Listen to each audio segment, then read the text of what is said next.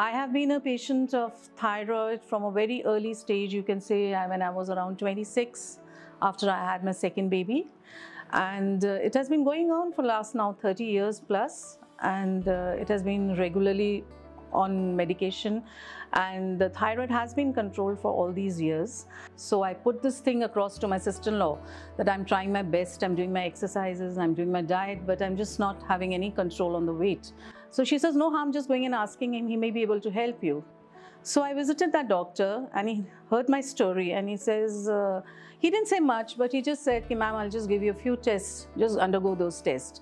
When I went through the reports, uh, normal uh, borderline of the thyroglobin in the body should be from 0 to 20 uh, to 60. 0 to 60, but my thyroglobin was 300 plus. Mrs Seeba Walia मेरे पास OPD में आई थी उनके गले में एक गांठ थी जिसके लिए उनको काफ़ी टेस्ट दूसरे हॉस्पिटल्स में किया गया था। एक नीडल टेस्ट किया गया था सीटी स्कैन किया गया था अल्ट्रासाउंड किया गया था।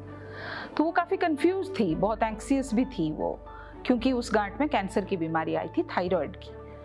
अब थायराइड की जो कैंसर होता है, उसकी इलाज डिपेंड करता है कि वो किस टाइप का है। उनकी जो टाइप थी, वो थोड़ा उनके क्लिनिकल सिम्टम्स उनकी एज और इससे मैच नहीं कर रहा था। So that was, of course, it took us at least a day or two for all of us to digest that fact. That now, yes, the next step is to undergo a few more tests. तो जब मैंने वो report देखा तब मुझे भी थोड़ी सी doubt हुई तो मैंने उनको कुछ और ब्लड टेस्ट करने के लिए बोला उसमें लगा कि जो टाइप बाहर से डायग्नोज हुआ है दूसरे हॉस्पिटलों में डायग्नोज हुआ है वो शायद सही नहीं है उसमें शायद कुछ कमी है तो मैंने उनको दोबारा वो टेस्ट करने के लिए नीडल टेस्ट और ये आ, कुछ ब्लड टेस्ट करने के लिए बोला था। उससे फिर पता चला कि हाँ उनकी टाइप दूसरी है एक्चुअली वो पैपिलरी कार्सिनोमा ऑफ़ थायराइड कहते हैं उसको। This is a treatable cancer इसकी इलाज ऑपरेशन से होता है और वो ठीक भी हो जाता है।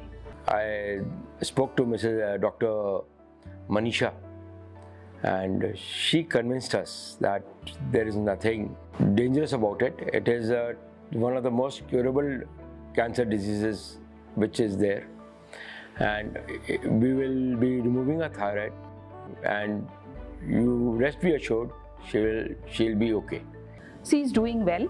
I am happy for that और पेशेंट भी खुश है क्योंकि थायराइड कैंसर जैसी एक बीमारी, जो कैंसर की बीमारी से सर्जरी और इलाज के साथ अभी पेशेंट अच्छे कर रहे हैं। She is doing well she was very good she was very encouraging and she took things so casually trying to tell me that this is not a very big deal it's not a very big deal it's a minor operation and you will be absolutely fine